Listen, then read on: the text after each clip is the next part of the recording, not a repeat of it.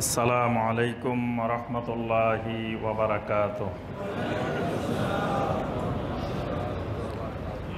يا أيها الذين آمنوا ادخلوا في السلم كافة ولا تتبعوا خطوات الشيطان إنه لكم عدو مبين সাহাবাই কেরাম রাদওয়ানুল্লাহ তাআলা আলাইহিম আজমাইন যখন ইসলাম গ্রহণ করেন তখন কেউ কেউ ইসলামের সত্তর ভাগ, কেউ আশি ভাগ, কেউ নব্বই ভাগ, কেউ বিশ ভাগ, কেউ পঞ্চাশ ভাগ এরকম গ্রহণ করছে। আবার কিছু কিছু জিনিস মেনে নিতে তারা একটু দ্বিধা সংকোচ করতেছিলেন। মানে পুরাপুরি ইসলামের সব কিছু মেনে নিয়ে একশো পার্সেন্ট ইসলামে ঢুকা, এরকম ক্ষেত্রে দেখা গেল কিছু কিছু সমস্যা দেখা দিছে। দেখা যায় একশো দেখা যায় একশো পার্সেন্ট ইসলামে আসতে হলে অনেক বাধা বিপত্তির সমস্যা দেখা দেয়। তো ইহুদি থেকে যারা ইসলাম গ্রহণ করছে, তারা সব মেনে নিতে রাজি, কিন্তু ওটের গোস্ত খাবে না। ইহুদিরা। ওটের গোস্ত হালাল, কিন্তু তারা ওটের গোস্ত খাবে না। কারণ যে ইয়াকুব আলহিসাল্লাম ওটের গোস্ত খান নাই। বাস আমরা ইসরায়েলের বংশধর, ইয়াকুবের বংশধর আমরা ওটের গোস্ত খাওয়া যাবে না। বিশেষ করে সালমান আল ফারসি রাদি আল্লাহ তালান তিনি তো অনেক বড় সাহাবি। তিনিও ইসলাম গ্রহণের পরে ওটের গোস্ত খান না। একটা হলো আপনি হালালকে হালাল মনে করা, কিন্তু কোনো কারণে আপনি খাচ্ছেন না, এটা এক জিনিস। আবার হালালকে হারাম মনে করা, হারামকে হালাল মনে করা, সেটা আরেক জিনিস। গরুর গোস্ত আপনার হালাল। আপনার হয়তো রোগ আছে, অসুস্থতা আছে, এই জন্য আপনি খাচ্ছেন না। এটা অসুবিধা নেই। কিন্তু আপনি যদি মনে করেন যে, না, গরুর গোস্ত হারাম। তারপরে আপনার ছাগলের মধ্যে পুরুষ, মহিলা দুই রকম আছে না? তো পুরুষ যেগুলা পাঠা এই পাঠার গোস্ত হালাল না হারাম? হালাল।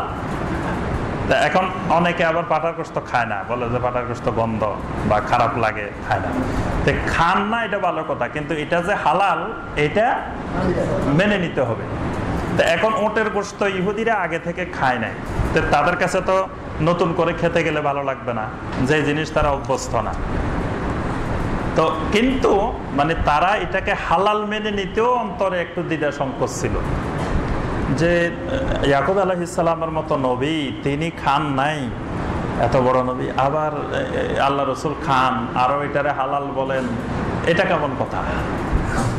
তা আল্লাহ তখন এই এই ছোট একটা জিনিস, যে সামান্য একটা জিনিস, এই সামান্য এটার থেকে কিন্তু বড় বড় জিনিসের উৎপত্তি হবে। প্রথমে আপনার সেরেক, বেদাত বড় আকারে আসবে না। এই ছোট্ট একটা আসবে। এই ছোট্ট একটা থেকে আস্তে আস্তে আস্তে আস্তে আপনি বড় সেরেকের দিকে, বড় বেদাতের দিকে চলে যাবেন। তা আল্লাহ তখন আয়াতে কারিমা নাজিল করে দিলেন, ইয়া ইউহাল্লাযীনা আমানু, হে ঈমানদারগণ, উদখুলু ফিস সিলমি কাফা ইসলামের মধ্যে পুরাপুরি ঢুকে যাও, পুরাপুরি প্রবেশ করো। কিছু প্রবেশ করবা, কিছু বাইরে থাকবে, এরকম হবে না। কিছু ইসলামের বিধিবিধান মানবা, আবার কিছু ইহুদিদের বিধান মানবা, কিছু খ্রিস্টানদের বিধান মানবা, কিছু হিন্দুদের বিধান মানবা, কিছু বৌদ্ধদের বিধান মানবা।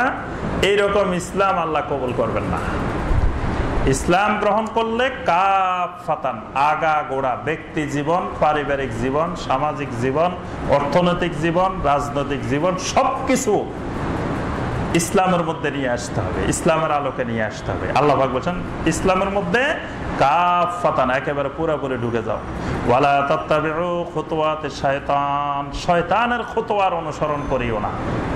শয়তানের আমরা একদিন ব্যাখ্যা দিছি মানে প্রথম মনে হবে এটা ছোট জিনিস, মোটর গোস্ত না খাওয়া, এটা আবার কি? এটা তো বড় কিছু না। কিন্তু এই ছোট এটা থেকে আস্তে আস্তে বড় সেরেকের দিকে, বড় জিনিসের দিকে চলে যাবে। এই জন্য আল্লাহ বলছে খবরদার শয়তান, প্রথমে তোমাদেরকে খারাপ কাজের দিকে নেওয়ার জন্য ছোট্ট ছোট্ট খোতোয়া তৈরি করে, খোতোয়া। এই জন্য দেখা যায়, ওই মানে আমরা বলছি না জানাবে বিচারের ব্যাপারে, অশ্লীলতার ব্যাপারে। মানুষের স্বভাবজাত প্রবৃত্তি হলো মানুষ কিন্তু জানা করার দিকে আগ্রহী না। মানুষের মধ্যে স্বাভাবিক ন্যূনতম একটা লজ্জাশীলতা দিয়েই আল্লাপাক তৈরি করেছেন। এই জন্য কোনো মানুষকে যদি সরাসরি জানা করার আহ্বান করে সে করবে না। তো শয়তান এটা জানে ভালো করে। এই জন্য শয়তান একজন মানুষকে জেনার দিকে অশ্লীলতার দিকে নেওয়ার জন্য খোতোয়ার আশ্রয় নেয় খোতোয়া প্রথম খোতোয়া হলো মোবাইলে কথা বলে। হ্যাঁ, মোবাইলে কথা বলে। বলে যে মোবাইলে কথা বললে অসুবিধে কি? এটা তো আহ, এটা তো কথা আনা হচ্ছে। হ্যাঁ, বাস এই এটা হলো শয়তানের একটা খতোয়া তারপরে আবার, বাইরে যায় একসাথে ঘোরাফেরা করল, এটা আরেকটা খতোয়া এইভাবে আস্তে আস্তে রেস্টুরেন্টে গেল, অমুক জায়গায় গেল, তমুক জায়গায় গেল, এই যে ঘুরতে ঘুরতে ঘুরতে ঘুরতে এক সময় তার কাছে জানাটা বেবিচারটা স্বাভাবিক বিষয় হয়ে যাবে এই যে মূল কাজে নেওয়ার জন্য যতগুলো মাঝখানে ঘাটে পার হইতে হয়েছে এগুলার নাম হলো খতোয়াতে শয়তান। শয়তানের এক একটা খতোয়া ছোট ছোট খত- খতোয়া মানে ওই যে শয়তান চিন্তা করল যে এখানে বিশাল একটা মারামারি লাগানো দরকার। তো কেমনে মারামারি লাগাবে?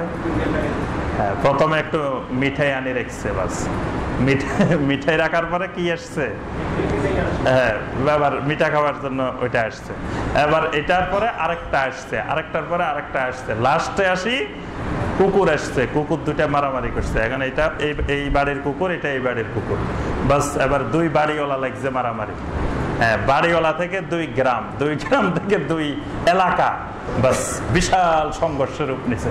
কিন্তু মূল ঘটনা কোথায়? ওই সামান্য একটু মিঠাই লাগাই দিছে শয়তান খান। তো এই যে মাঝখানে যে ঘটনাগুলো, এটার নাম হলো খতোয়া। আল্লাহ বলছেন শয়তান শয়তানের এই ব্যাপারে খুব সতর্ক থাকবে। শয়তান তোমাদের প্রকাশ্য দুশ্মন, প্রকাশ্য শত্রু, গোপনীয় শত্রু না। জন্য শত্রু যদি সুন্দর কাজও করে, বুঝতে হবে এর পিছনে কোনো মতলব আছে। শয়তান যদি সুন্দর একটা খুতোয়া নিয়ে আসে, দেখতে অনেক সুন্দর, অনেক মজাদার, অনেক ভালো। তো কিন্তু এটার পিছনে শয়তানের একটা খারাপ মতলব আছে। এই জন্য আল্লাহ পাক বলছে, খবরদার জেনে রাখবা, ইন্নাহু লাকুম আদুব্বুম মুবিন। শয়তান তোমাদের সুস্পষ্ট দুশ্মন।